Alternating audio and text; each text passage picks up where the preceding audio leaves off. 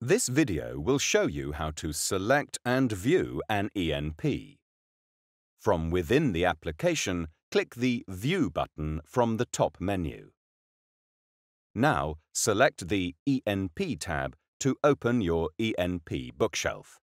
The interface is split into two sections. The upper geographical display shows all of your licensed sailing directions with a tile reflecting their area of coverage.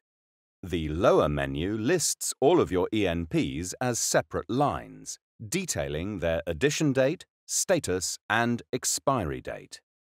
ENPs can be opened in two ways. For sailing directions, you can open the book directly from the geographical display. To do this, click on the appropriate tile to bring up the radial menu on the right-hand side of the screen. Click on the light blue arrow on the ENP segment of the radial menu and then click the name of the book.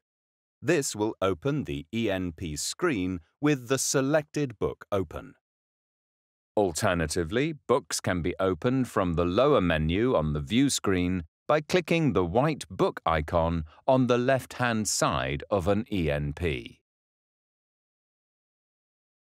You can check whether a book is installed by referring to the Status column.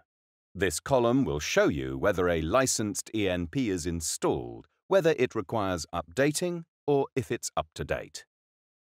If the book icon is grayed out and not selectable, the ENP is not currently installed. To install ENPs, please see the videos Getting ENPs from the Gateway DVD and Getting ENPs from the Internet for instructions.